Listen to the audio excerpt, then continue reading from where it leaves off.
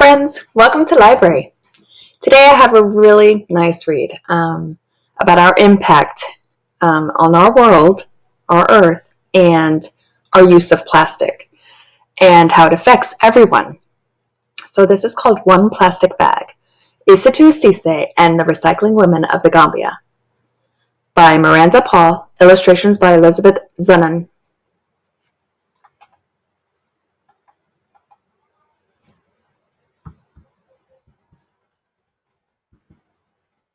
Njau, Gambia. Isatou walks with her chin frozen. Fat raindrops pelt her bare arms. Her face hides in the shadow of a palm leaf basket, and her neck stings with every step. Warm scents of burning wood and bubbling peanut stew drift past. Her village is close now. She lifts her nose to catch the smell. The basket tips. One fruit tumbles, then two, then ten and the basket breaks. Isatou kicks the dirt. So she was picking fruit on her way home, and it all falls apart.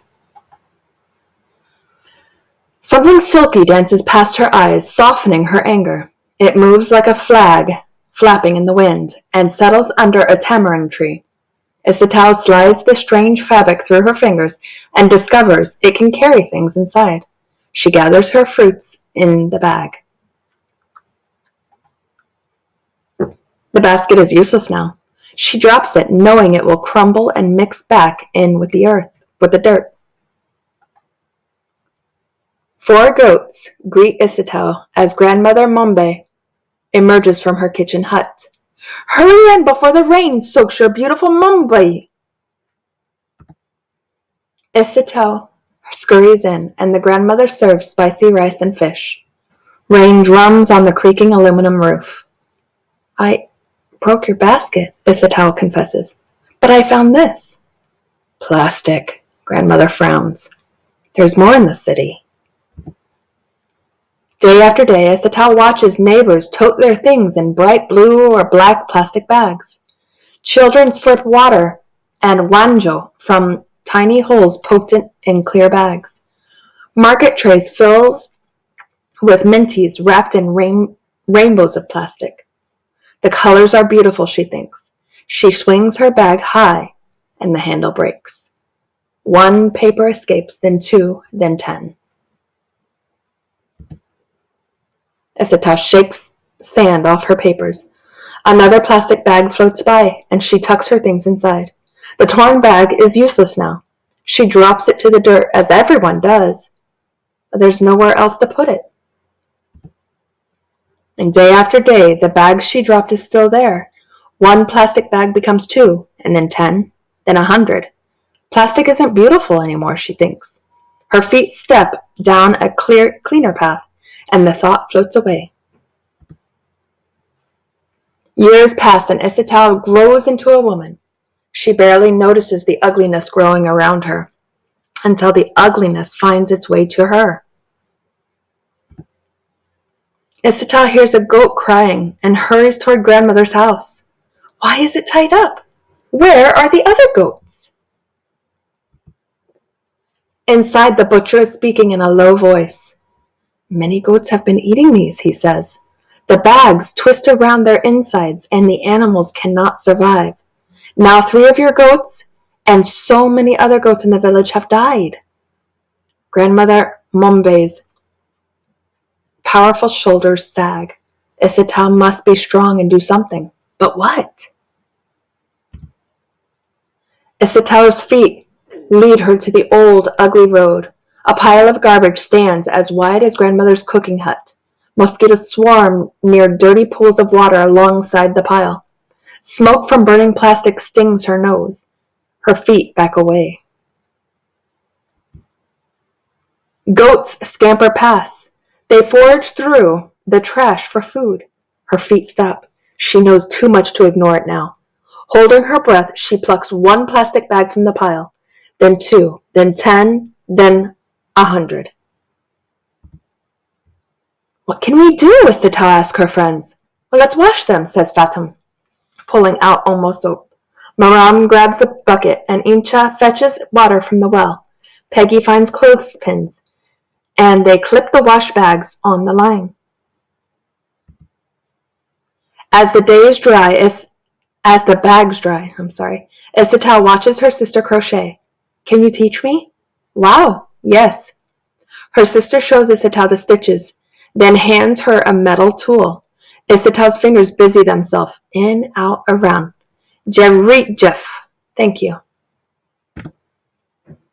Isatal finds a broomstick and carves her own tool from its wood. What's that for? Fatima asks. Isatal pauses. She and Peggy have an idea. But what will their friends think? But will their friends think it's crazy? Will the idea even work? Nervously, she plans. She explains the plan. One friend agrees to help, then two, then five. The women cut bags into strips and roll them into spools of plastic thread. Before long, they teach themselves how to crochet with this thread.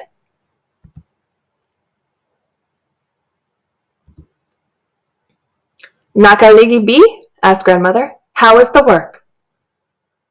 Nadanka, Nadanka, answers Isatal. Slow. Some people in the village laugh at us. Others call us dirty, but I believe what we are doing is good. The women crochet by candlelight, away from those who mock them. Until a morning comes when they will no longer work in secret. Fingers sore and blistered, Isatal hauls the recycled purses to the city. One person laughs at her, then two, then ten. Then one woman lays Dulce coins on the Dalasi coins on the table. She chooses a purse that shows it to one friend, then two, then ten. Soon everyone wants one.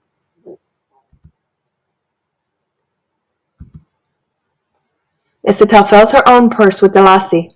She zips it shut and rides home to tell grandmother she has made enough to buy a new goat. When she passes by the pile of rubbish, she smiles because it is smaller now. She tells herself, one day it will be gone and my home will be beautiful. And one day it was. And the goats are able to roam free again and not have to be tied up. And there's her baby all grown.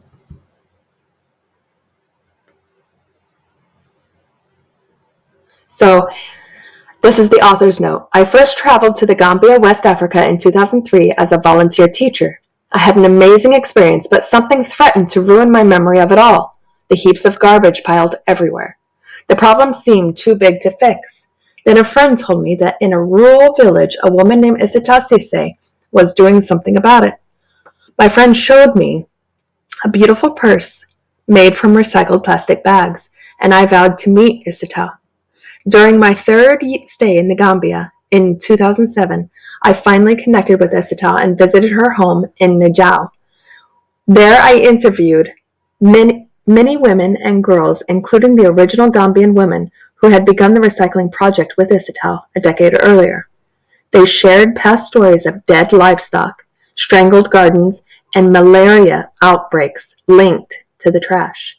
And they also shared new stories of healthier families better income, and increased self-confidence. Although I wasn't able to include all the details about the women and their project in this book, I believe the story I've shaped captures their spirit and inspirational uh, accomplishments. Today, Njau is much cleaner, and goats are healthier, and the gardens grow better. Residents from nearby towns travel there to learn the craft of recycling.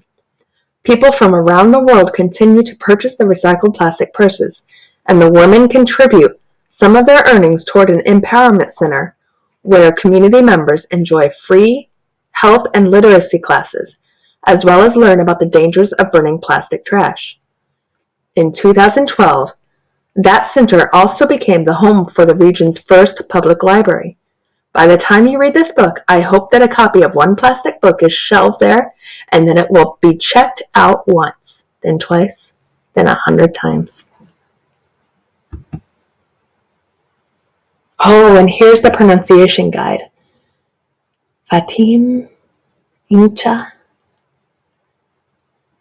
Mbuba, Okay, so if you want to learn how to how to pronounce some of the words I mispronounce, and I do apologize, I didn't see the pronunciation, but um, if I should reread it again, I will have my pronunciation guide. Thank you for reading with me today. Have a fab